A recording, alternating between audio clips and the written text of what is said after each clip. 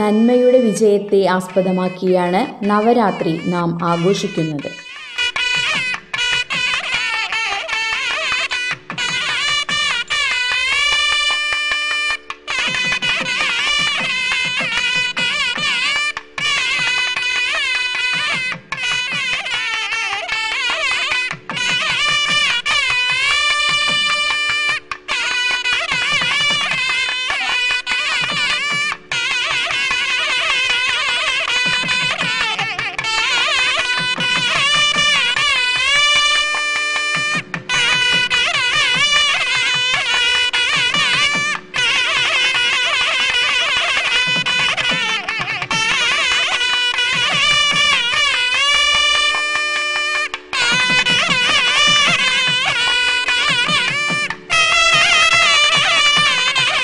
നവരാത്രി എന്ന് പറയുമ്പോൾ ഒമ്പത് ദിവസങ്ങളിലായിട്ട് ദേവിയെ ആരാധിക്കുന്നതാണ്. ദേവി എന്ന് നമ്മൾ പറയുമ്പോൾ ഹിന്ദു ആചാര അനുഷ്ഠാനങ്ങൾ പ്രകാരം ഈ ലോകത്തിന്റെ മുഴുവൻ കാരണഭൂതയായിട്ടുള്ള അമ്മ. അമ്മ എന്ന് പറയുമ്പോൾ അമ്മയുടെ പ്രാധാന്യം നമുക്ക് എല്ലാവർക്കും അറിയാം. അപ്പോൾ ഈ ലോകത്തിന്റെ മുഴുവൻ അമ്മയായിട്ട് ജഗജ്ജനനി ജഗന്മാത എന്ന് നമ്മൾ ദേവിയെ വിശേഷിപ്പിക്കുന്നു ദേവിയെ പൂജിക്കുന്നു ദേവിയെ ആരാധിക്കുന്നു. അങ്ങനെ ദേവിയുടെ വിവിധ രൂപങ്ങളിലുള്ള വിഗ്രഹങ്ങളെ ആരാധിച്ച് വിവിധ ഫലങ്ങൾ നമ്മൾ അഭ്യർത്ഥിക്കലാണ് പ്രാർത്ഥിക്കലാണ് ഈ നവരാത്രി ആഘോഷങ്ങളോട് നടക്കുന്നത്.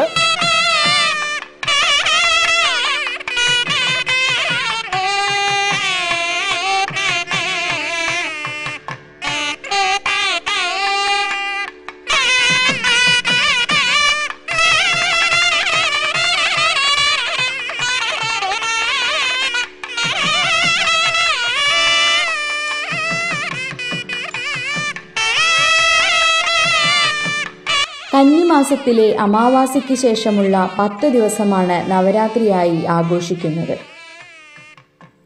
ഇതിൽ ആദ്യത്തെ മൂന്ന് ദിവസം ദുർഗയായും പിന്നീടുള്ള മൂന്ന് ദിവസം ലക്ഷ്മിയായും അവസാന മൂന്ന് ദിവസം സരസ്വതിയായും സങ്കല്പിച്ചാണ് പൂജകൾ ചെയ്യുന്നത്.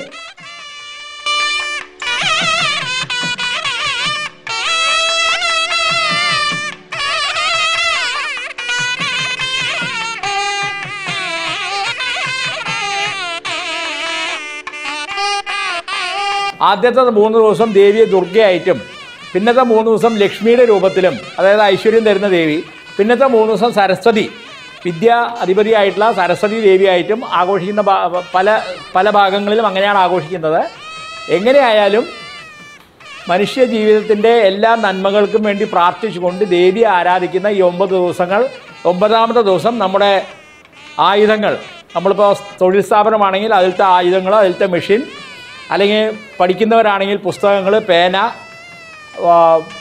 സംഗീതം അഭ്യസിക്കുന്നവരാണെങ്കിൽ ആ സംഗീത ഉപകരണങ്ങൾ ഇതെല്ലാം പൂജയിൽ വെച്ച് ഒമ്പതാമത്തെ ദിവസം പൂജിച്ച് പത്താം ദിവസം വീണ്ടും പൂജിച്ച് ദേവിയുടെ അനുഗ്രഹത്തോടുകൂടി അതെടുത്ത് നമ്മുടെ വിദ്യ തുടരുന്നതാണ് വിജയദശമി അല്ലെങ്കിൽ വിദ്യാരംഭം. അപ്പോൾ എന്താണ് ഈ ഒമ്പത് ദിവസം ദേവി? ഈ പ്രത്യേകമായിട്ടുള്ള ഒമ്പത് ദിവസം ദേവി ആരാധിക്കാൻ കാരണം എന്ന് പറഞ്ഞാൽ ഈ മറ്റ് പല ദേവന്മാർക്കും നിഗ്രഹിക്കാൻ സാധിക്കാത്ത അസുര ശക്തികൾ പലരെയും ദേവിയാണ് നിഗ്രഹിച്ചത്. ഇപ്പോൾ ശുംഭാസുരൻ നിശുംഭാസുരൻ കൈടപാസുരൻ ഇങ്ങനെ പല അസുരന്മാരുണ്ടായിരുന്നു. ലോകത്തിന്റെ ജനങ്ങൾക്കും ദേ ദേവന്മാർക്കും എല്ലാം ഉപദ്രവങ്ങൾ ഉണ്ടാക്കിക്കൊണ്ട് ഇപ്പോൾ രാവണൻ ഉപദ്രവം ഉണ്ടാക്കി ശ്രീരാമൻ രാവണനെ വധിച്ചു നമ്മൾ കേട്ടിട്ടുണ്ട്. കംസനെ ശ്രീകൃഷ്ണൻ വധിച്ചു നമ്മൾ കേട്ടിട്ടുണ്ട്. അതേമാതിരി ഈ ഒമ്പത് ദിവസങ്ങളിൽ ദേവി യുദ്ധം ചെയ്ത് ഈ പല അസുരന്മാർ അത്രയും ശക്തിയുള്ള അസുരന്മാരായിരുന്നു. ദേവിയുടെ ഒപ്പം പോലും ഒമ്പത് ദിവസം യുദ്ധം ചെയ്യാൻ കഴിവുള്ള അസുരന്മാരായിരുന്നു. അവരെ ഒമ്പത് ദിവസം ദേവി ദേവി വിവിധ രൂപങ്ങളെടുത്ത് നമ്മൾ കാളിയായിട്ടും ദുർഗയായിട്ടും സിംഹത്തിന്റെ പുറത്ത് പുലിയുടെ പുറത്ത് ശൂലമായിട്ട് ഇങ്ങനെയൊക്കെ ദേവിയെ നമുക്ക് കാണാം. ഈ രൂപങ്ങളൊക്കെ എടുത്ത് ഈ അസുരന്മാരെ മുഴുവൻ നിഗ്രഹിച്ച് ഈ ലോകത്തിന് നന്മയുണ്ടാക്കിയ ദേവി ചെയ്ത ആ ഒമ്പത് ദിവസങ്ങളാണ് നമ്മൾ ദേവിയെ പ്രത്യേകമായിട്ട് ആരാധിക്കുന്നത്. അതാണ് ഈ നവരാത്രിയായിട്ട് ആരാധിക്കുന്നത്. പത്താം ദിവസം നമ്മൾ ദേവിയുടെ വിജയം. വിജയദശമിയായിട്ട് നമ്മുടെ വിദ്യാരംഭമായിട്ട് നമ്മുടെ നല്ലത് കുറിക്കുന്ന നാളായിട്ട് നമ്മൾ പത്താമത്തെ ദിവസം ആഘോഷിക്കുന്നു. അതാണ് ഈ നവരാത്രിയുടെ പൂജയുടെ വിശേഷം.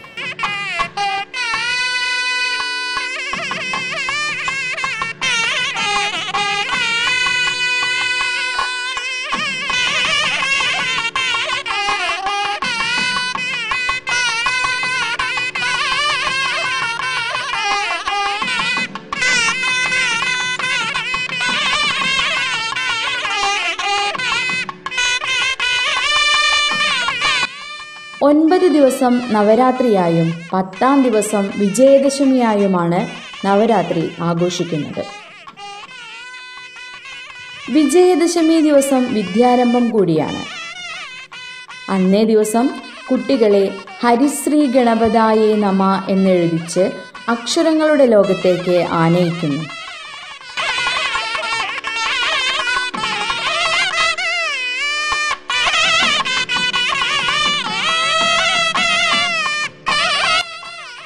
ദക്ഷിണ ഭാരതത്തിൽ നവരാത്രിക്ക് കണ്ടുവരുന്ന ഒരു ആചാരമാണ് ബൊമ്മക്കൊലു. ഈ ആചാരം കേരളത്തിൽ അധികവും തമിഴ് ബ്രാഹ്മണരാണ് ആചരിച്ചു വരുന്നത്. തമിഴ് ബ്രാഹ്മണരുടെ ഗ്രാമങ്ങളിലും അഗ്രഹാരങ്ങളിലും ഇതൊരു പ്രധാന ആഘോഷമാണ്.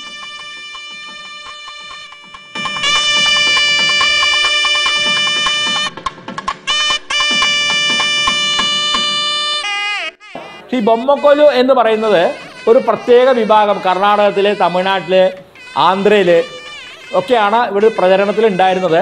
ഈ കേരളത്തിൽ തമിഴ് ബ്രാഹ്മണരായിട്ടുള്ള കേരള ബ്രാഹ്മണ സഭ എന്ന് പറയുന്ന നമ്മുടെ സംഘടനയുടെ മെമ്പർമാർ വീടുകളിലൊക്കെ ബൊമ്മക്കൊലു വെച്ച് ഈ ഒമ്പത് ദിവസം ആരാധിച്ചിരുന്നു. ഈ ഒമ്പത് ദിവസം വരുന്നവരെയൊക്കെ സ്വീകരിച്ച് അവർക്ക് ഫലതാമ്പൂലം നൽകി അവർക്ക് ദേവിയുടെ പ്രസാദം നൽകിയൊക്കെ ചെയ്യും. എല്ലാവരും പരസ്പരം എല്ലാ വീടുകളിലും പോവും. അപ്പോൾ ഒരു സാമൂഹ്യ ഐക്യം അപ്പോൾ എത്ര വലിയ പണക്കാരായാലും അവർ സാധാരണക്കാരുടെ വീട്ടിൽ പോവും ഈ ദിവസങ്ങളിൽ ഇവർ അങ്ങോട്ട് പോവും അവർ സ്വീകരിക്കും. അങ്ങനെ ഒരു സാമൂഹ്യ ഐക്യം കൂടി ഇതിന്റെ പിന്നിൽ സാമൂഹ്യ വശം കൂടി ഇതിനുണ്ട്.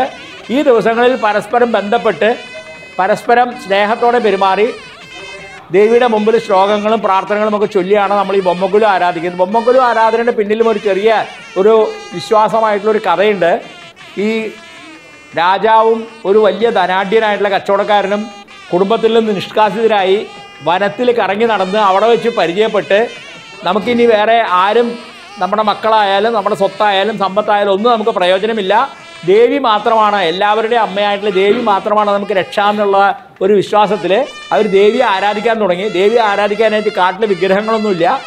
അപ്പോൾ കുറേ പല ഷേപ്പിലുള്ള കല്ലുകളും മണ്ണ് കൊണ്ട് കുറേ രൂപങ്ങളൊക്കെ ഉണ്ടാക്കി വെച്ച് അവർ മരത്തിന്റെ വേരിൽ അടുക്കി അടുക്കി വെച്ചാണ് ആരാധിച്ചത്. ഈ ഒമ്പത് ദിവസം അവരുടെ ആരാധന കഴിഞ്ഞപ്പോൾ അവർ ദിവസവും കലണ്ടറും പഞ്ചാംഗവും നോക്കിയിട്ടല്ല. അവർ ആ ഒരു ദിവസം തുടങ്ങി ഒരു ഒമ്പത് ദിവസം ആരാധിച്ചു. ഈ ഒമ്പത് ദിവസം എന്ന് പറയുമ്പോൾ ദേവി നേരത്തെ അസുരന്മാരായിട്ട് യുദ്ധം ചെയ്ത ആ ഒമ്പത് ദിവസങ്ങളായിരുന്നു. കന്നിമാസത്തിലെ കറുത്ത വാവ് കഴിഞ്ഞു വരുന്ന ആ ഒന്നാമത്തെ ദിവസം തൊട്ട് ഒമ്പത് ദിവസമായിരുന്നു. ദേവി അവരെ പ്രത്യക്ഷപ്പെട്ട് അനുഗ്രഹിച്ച് ദേവി ദേവിയുടെ സൗദത്തിലേക്ക് അവരെ കൂട്ടിക്കൊണ്ടുപോയി അവർക്ക് മോക്ഷം നൽ- നൽകിയെന്നാണ് വിശ്വാസം. അത് അറിഞ്ഞ കാട്ടുവാസികൾ ഇതേമാതിരി വിഗ്രഹങ്ങൾ പല രൂപത്തിൽ ഉണ്ടാക്കി വെച്ച് അവർ പൂജ തുടങ്ങി. ഇതറിഞ്ഞ നാട്ടുകാർ പൂജ തുടങ്ങി. അങ്ങനെയാണ് ഈ തമിഴ് ബ്രാഹ്മണരുടെ ഗൃഹങ്ങളിൽ ഇങ്ങനെ ഒരു ആരാധന ക്രമം തുടങ്ങിയത്. അത് കുറേശ്ശെ കുറേശ്ശെ ആയപ്പോൾ ഈ കൂട്ടുകുടുംബ വ്യവസ്ഥ ഇല്ലാണ്ടായി ഒറ്റ വീട് ഒരു മുറി ഒന്നര മുറി അങ്ങനെയൊക്കെ ആയി രണ്ടുപേരും ജോലിക്ക് പോകുന്ന വീടുകളൊക്കെ ആയപ്പോൾ ഈ ബൊമ്മക്കോൽ വെക്കുന്ന സംസ്കാരം തന്നെ അന്യം നിന്ന് പോകുന്ന ഒരു സാഹചര്യം വന്നപ്പോഴാണ് കേരള ബ്രാഹ്മണ സഭയിലെ പ്രവർത്തകർ ഇങ്ങനെ ഒരു നല്ല പരിപാടി പുനരുജ്ജീവിപ്പിക്കണം എന്നുള്ള ഉദ്ദേശം കൊണ്ട് ബ്രാഹ്മണ സഭയിൽ സാമൂഹമായിട്ട് തന്നെ എല്ലാവർക്കും വേണ്ടിയുള്ള ബൊമ്മക്കോൽ ഒരുക്കി അത് ഇത്തിരി ബൃഹത്തായി. അത് കണ്ട് കണ്ട് വന്നവരെല്ലാവരും ഈ സംസ്കാരം സ്വീകരിച്ചുകൊണ്ട് ഇപ്പോൾ എല്ലാ വീടുകളിലും ഇത് നടക്കുന്നുണ്ട്. വീട് തമിഴ് ബ്രാഹ്മണരുടെ വീടുകളിൽ മാത്രമല്ല കേരളത്തിലെ പല ക്ഷേത്രങ്ങളിലും ഈ ബൊമ്മക്കോൽ വെച്ചിട്ടുള്ള ആരാധന ഇപ്പോൾ തുടങ്ങിയിട്ടുണ്ട്. ഇതിനൊക്കെ കാരണക്കാരായി ഇതിന് പിന്നിൽ പ്രവർത്തിച്ച ബ്രാഹ്മണ സഭയുടെ പ്രവർത്തകർക്ക് ഇത് കാണുമ്പോൾ വളരെയധികം സന്തോഷമുണ്ട്.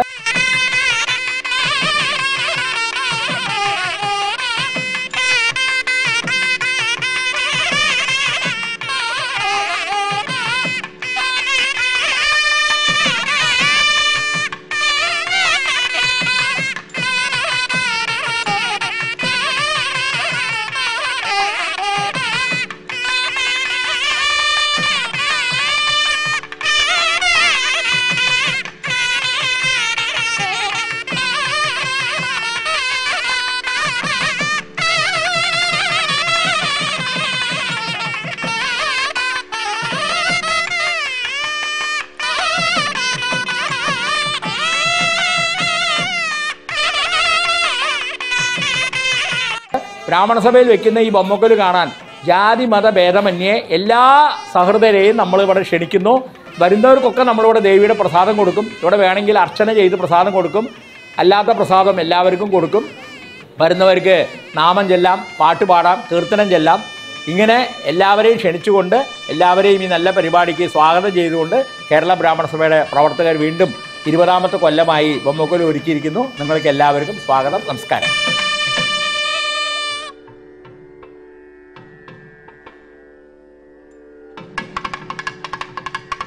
നവരാത്രി ആഘോഷത്തിൽ തമിഴ് ബ്രാഹ്മണർക്ക് ഒഴിച്ചുകൂടാൻ കഴിയാത്തത് തന്നെയാണ് ബൊമ്മക്കൊലു. എല്ലാ വീടുകളിലും ഒരുക്കുന്ന ബൊമ്മക്കൊലു കാണുവാനും പരസ്പരം സന്തോഷം പങ്കുവയ്ക്കുവാനുമുള്ള ഒരു അവസരം കൂടി ഈ നവരാത്രി നാളുകളിൽ ലഭിക്കുന്നു. പാട്ടും നൃത്തവും ഭജനയും പൂജയുമെല്ലാമായി നവരാത്രി വളരെ വിപുലവും സന്തോഷപൂർണവുമായി കൊണ്ടാടുകയാണ് ഇവർ ചെയ്യുന്നത്.